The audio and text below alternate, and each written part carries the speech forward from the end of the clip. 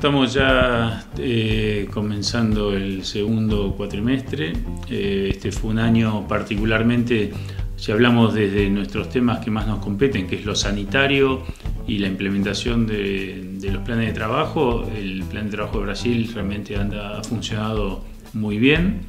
Sabemos que veníamos de un año complicado, donde había habido muchas intercepciones en frontera de fruta con, eh, larva viva de, de, carpocapsa, que es la plaga que nos regulan.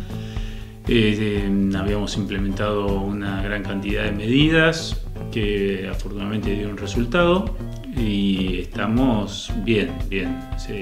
ha habido una sola detección en lo que va de la temporada, lo cual es un resultado, la verdad, que es mejor de los últimos siete años. Todo esto, este, este, resultado, la verdad que, nos da una gran satisfacción. Eh, ha habido muy fuerte compromiso de todos los sectores. Esto comienza con los controles en la chacra, ¿no? por supuesto, con los controles que hace el productor.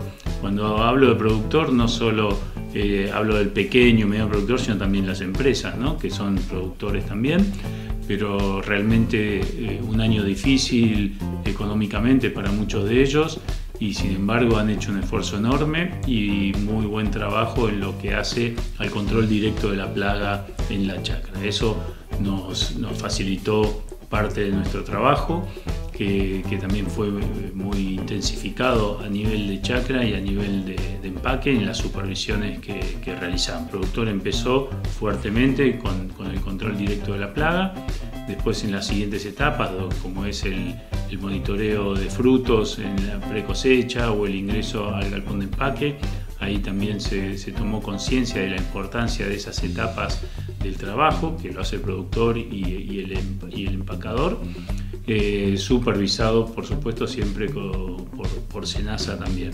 Una mano muy grande nos dieron las provincias de Río Negro y Neuquén, aportando personal en esta etapa del muestreo de frutos a campo, es una tarea ardua, se hacen cerca de 13.000 reportes por temporada y lleva muchísimo trabajo hacerlos y supervisarlos. En esto colaboraron las provincias. Y después las etapas de, trabajo directo de SENASA, que es dentro del empaque, con la habilitación de los lotes, corte de habilitación y con los despachos, que se mantuvieron las medidas que se habían implementado el año pasado frente al corte de, cierre de la frontera, eh, también nos permitió asegurar eh, por ahí la sanidad de estos resultados que estábamos hablando y sumémosle también una alta concientización del sector que hizo una, eh, un buen cuidado de la fruta que destinó a este mercado.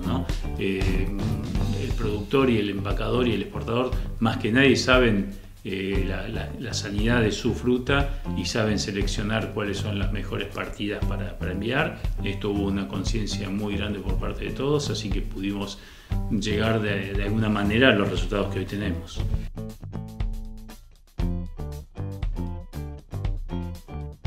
Oh.